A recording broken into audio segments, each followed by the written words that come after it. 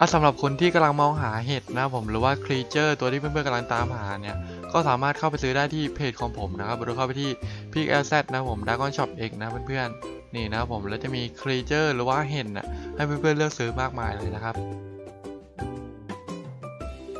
เอาละฮะก็สวัสดีเพื่อนๆชาว Roblox กันด้วยนะฮะในวันนี้เราก็กลับมาอยู่กันในเกม Creatures of Sonaria กันอีกครั้งนะฮะในวันนี้เนี่ยนะผมก็จะมาทำการรีวิว Creature อีกเช่นเคยนะเพื่อนซึ่ง Creature ที่ผมจะมา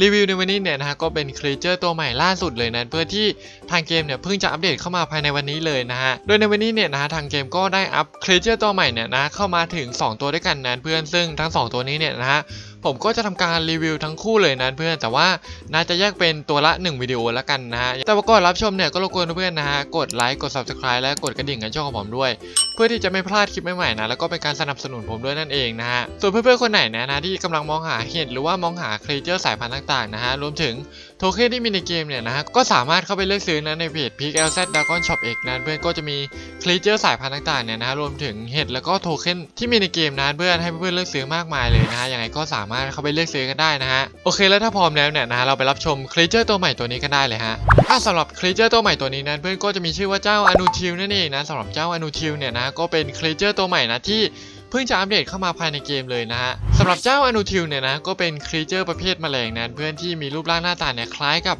แมลงปอมากๆเลยนะเพื่อน แล้วก็เจ้า Anutill เนี่ยนะ เป็น creature ประเภท dev creature ตัวใหม่นั่นเองนะ โดยวิธีการที่เราจะได้รับเจ้า Anutill ได้เนี่ยนะ เราสามารถเข้าไปซื้อเจ้า Anutill เนี่ยนะใน dev creature store ได้เลยนะ โดยวิธีการเข้า dev creature store เนี่ยนะ เราสามารถ กดไปที่รูปตัวทางด้านบนนะเพื่อน แล้วก็กดตรง dev creature ตรงนี้นะ ก็จะมีเจ้า Anutill เนี่ยนะ ขายอยู่นั่นเองนะ ราคาของมันเนี่ยนะ ก็จะอยู่ที่ 400 Robux นั่นเองนะฮะ ส่วนเรื่อง status ของเจ้า Anutill เนี่ยนะ ก็จะมีเลือดเนี่ยอยู่ที่ 3,000 นะ แล้วก็ damage เนี่ยอยู่ที่ 170 ด้วยกันนะฮะ speed ในการเดินเนี่ยอยู่ที่ 24 นะฮะ ในการวิ่งอยู่ที่ 72 นะฮะ แล้วก็ 27 ในการบินนั่นเองนะ ก็ถือว่าเป็นตัวที่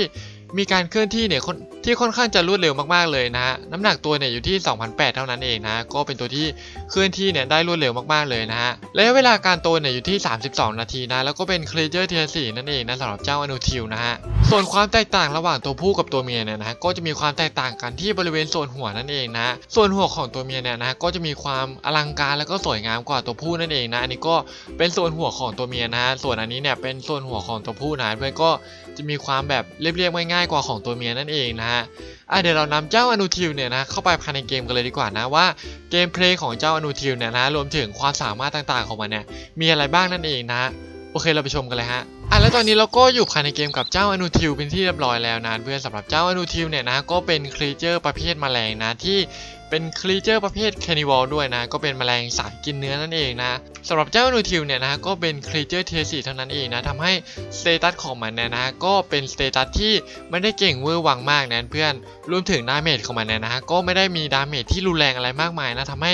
เจ้า Anutill เนี่ยนะต้องอาศัย gameplay นะเพื่อนแล้วก็อาศัย ability ในการเล่นที่ค่อนข้างที่จะเยอะนะฮะ แต่ว่าจุดเด่นของเจ้า Anutill เลยเนี่ยนะถึงแม้ว่ามันจะมีเลือดที่ไม่ได้เยอะมากนะแล้วก็ damage ที่ไม่ได้รุนแรงอะไรมากนะเพื่อนแต่ว่าจุดเด่นของมันนะนะก็มีจุดเด่นที่มีการเคลื่อนที่เนี่ยที่ค่อนข้างจะรวดเร็วนั้น เพื่อนทำให้เจ้า Anutill เนี่ยนะฮะสามารถที่จะล่าเหยื่อตัวเล็กๆนะเพื่อนรวมถึงเหยื่อที่มีการเคลื่อนที่ที่ค่อนข้างช้าเนี่ยนะได้ค่อนข้างที่จะง่ายนะฮะส่วนเรื่องโมเดลของเจ้า Anutill เนี่ยนะฮะก็ออกแบบมาได้ค่อนข้างที่จะสวยงามนะก็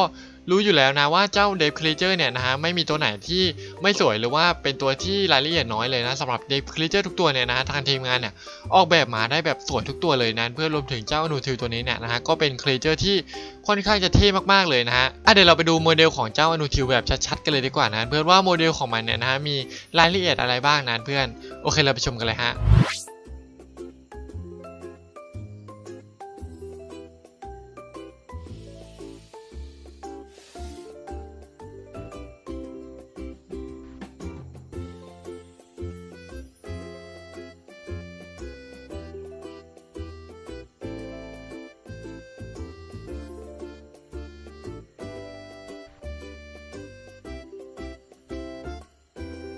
และนี่ก็เป็นโมเดลของเจ้าอนุทิวนั่นเองนะเพื่อนก็เป็นตัวที่สวยมากๆเลยตัวหนึ่งเลยนะสำหรับเจ้าอนุทิวนะฮะอะเดี๋ยวเราไปฟังเสียงทั้ง 4 ของเจ้าอนุทิวกันบ้างดีกว่านะว่าเสียงทั้ง4ของมันเนี่ยนะเป็นยังไงบ้างนะฮะโอเคเราไปฟังกันเลยฮะ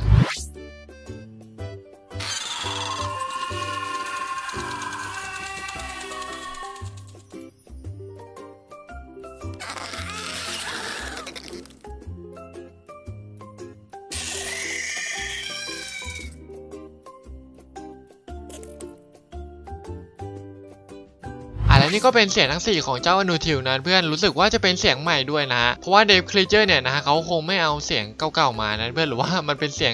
ที่ซ้ำกับตัวอะไรเนี่ยนะฮะเพื่อนๆเนี่ยก็สามารถคอมเมนต์มาบอกกันได้นะ แต่ผมคิดว่า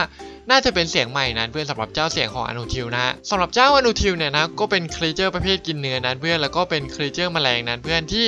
เจ้า Anutill เนี่ยนะสามารถเล่นทั้งบนฟ้านะเพื่อนหรือว่าเล่นบนพื้นดินนะเพื่อนรวมถึง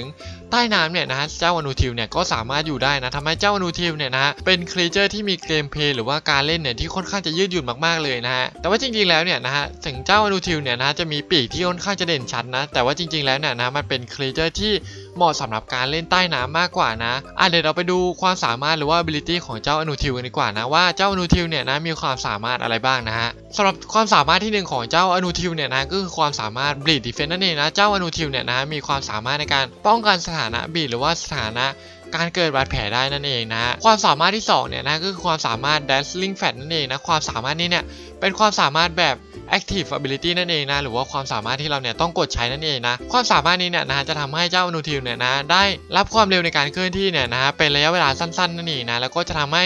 เป้าหมายโดยรอบของเจ้าอนูทิวนะติดสถานะ tunnel vision หรือว่าติดสถานะ flash นั่นเองนะฮะความสามารถที่ 3 นะเพื่อนความสามารถ streamline นั่นเองนะความสามารถนี้เนี่ยนะเป็นความสามารถแบบติดตัวหรือว่าความสามารถ passive ability นั่นเองนะความสามารถนี้เนี่ยหากเจ้าอนูทิวเนี่ยนะอยู่ใต้น้ำเป็นระยะเวลามากกว่า 15 วินาทีนะจะทำให้เจ้าอนูทิวเนี่ยนะได้ความเร็วในการเคลื่อนที่เนี่ยเพิ่มขึ้น 25%นะแล้วก็ stamina หรือค่าความเหนื่อยเนี่ย regen หรือว่าเพิ่มเร็วขึ้นเนี่ยสเท่านะแล้วก็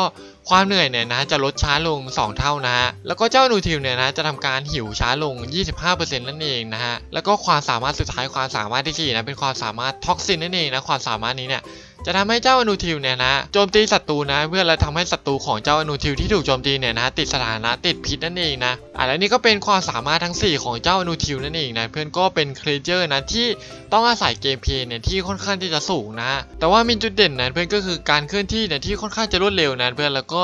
มี passive ability ที่ค่อนข้างที่จะเก่งนะก็คือ passive ability ที่มีชื่อว่าเจ้า streamline นั่นเองนะฮะแล้วก็มีความสามารถในการช่วยในการล่าเหยื่อก็คือความสามารถ toxin หรือว่าความสามารถในการกัดเพื่อติดพิษนั่นเองนะอันนี้ก็เป็นความสามารถที่ทำให้เจ้าอนูทิวเนี่ยนะสามารถล่าเหยื่อได้ง่ายขึ้นนั่นเองนะฮะอะก็จะประมาณนี้นะเพื่อนสำหรับเจ้าอนูทิวตัวนี้นะเป็น dev creature ตัวใหม่นั่นเองนะที่มีความสามารถในการล่าเหยื่อเนี่ยที่ต้องอาศัย gameplay แล้วก็